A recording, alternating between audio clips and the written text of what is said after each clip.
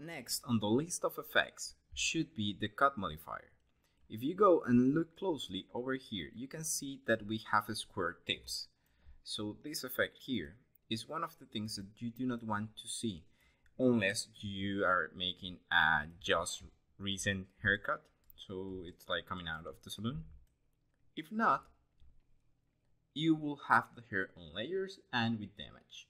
And normally the hair kind of falls, breaks, and receive some damage and everything. So the hair normally does not reach all the same length. And for that, we have the cut noise that you can find here. The cut noise is going to have two parameters.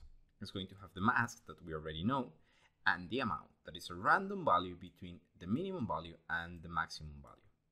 After that, we have rebuild type that is going to keep keep reparam that is going to affect uh, the curves or the strands of hair and it's going to cut the tips but it's going to remain the same structure of the actual hair.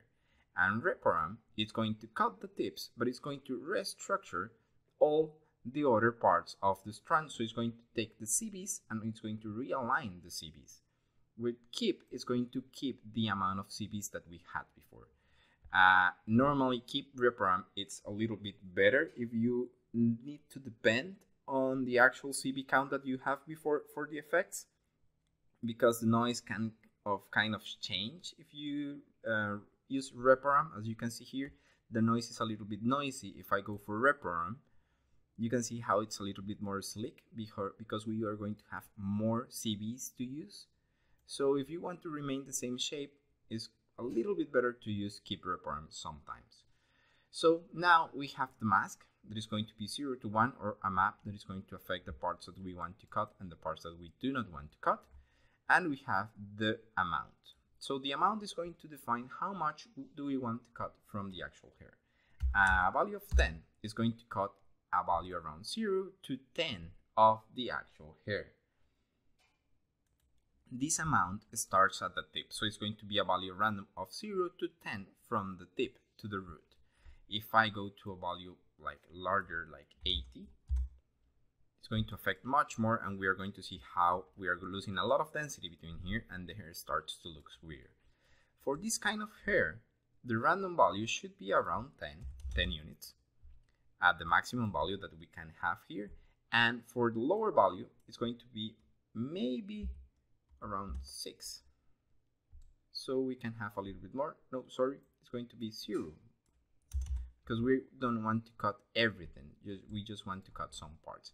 For the mask the mask can work normally as you want and you can even use expressions just as the one that we are using for the mask percentage and you can change everything straight away. And you can define how much hairs do you want to be cut by this parameter and let's say that I want just 50% uh, to be affected by the random 0 to 10 and I want to create a new one that is going to be affecting 20% uh, of my hairs. And this one it's a really big one that is 0 to 30 so you can actually change the amount of of cuts that you have. And that's going to define how the hair is going to look how the hair is going to be cut and how it's going to look at the final shape. So this is will be all for the cutoff session. You can also put different structures on the mount. Something similar to the magnitude that we use on the expression for the noise should also work around here. And remember to always put on your grooms a cut because it's going to affect quite a lot. If you're working for fur or something like that on a creature, remember that creature has a maximum length of hair and a minimum length of hair also and the hair tends to fall completely from the follicle, so be aware of that. So see you on the next one.